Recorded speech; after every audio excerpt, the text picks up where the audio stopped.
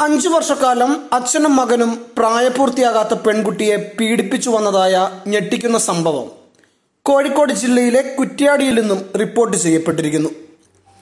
കുട്ടി ഒന്നാം ക്ലാസ്സിൽ പഠിക്കുമ്പോൾ ആരംഭിച്ച പ്രകൃതി വിരുദ്ധ പീഡനം പതിനൊന്നാം വയസ്സിലും തുടരുകയായിരുന്നു. ഒന്നാം ക്ലാസ്സിൽ പഠിക്കുമ്പോഴാണ് സഹോദരൻ പീഡനം തുടങ്ങിയത്.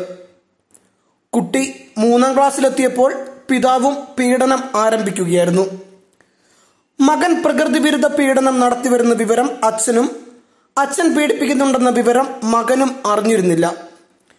പതിനൊന്ന് വയസ്സുകാരിയോട് ക്രൂരത കാട്ടി നിരന്തരമായി പ്രകൃതി വിരുദ്ധ പീഡനത്തിന് ഇരയാക്കിയ അച്ഛനും മകനും ഒടുവിൽ അറസ്റ്റിലായി. കോഴിക്കോട് കുറ്റ്യാടിയിലാണ് സംഭവം നടന്നത്.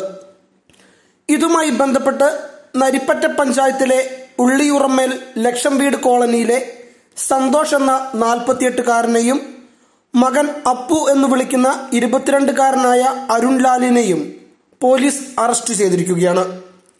നിരന്തരം കുട്ടി ക്രൂരമായ പീഡനങ്ങളാണ് ഏറ്റുവാങ്ങി വന്നതെന്നാണ് ഇത് സംബന്ധിച്ച് പോലീസ് പറയുന്നത്. പെൺകുട്ടി ഒന്നാം ക്ലാസ്സിൽ പഠിക്കുന്ന കാലം മുതൽ സഹോദരൻ അരുൺലാൽ നിരന്തരം പീഡിപ്പിച്ചു വരികയായിരുന്നു.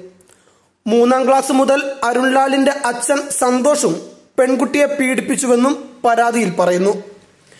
വീട്ടിൽ ആരുമില്ലാത്ത സമയം നോക്കിയും ചിലപ്പോൾ അടുത്തുള്ള കാട്ടിലേക്ക് കൂട്ടിക്കൊണ്ടുപോയും സ്വന്തം വീട്ടിൽ വെച്ചും സന്തോഷ് കുട്ടിയെ നിരന്തരമായി പീഡിപ്പിച്ചിരുന്നുവെന്ന് പോലീസ് പറഞ്ഞു.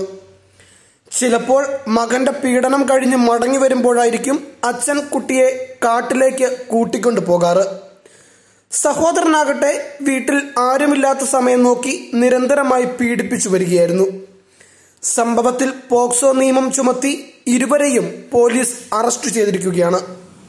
ന്യൂസ് ഡെസ്ക് വാർത്തകൾക്കൊപ്പം ന്യൂസ്.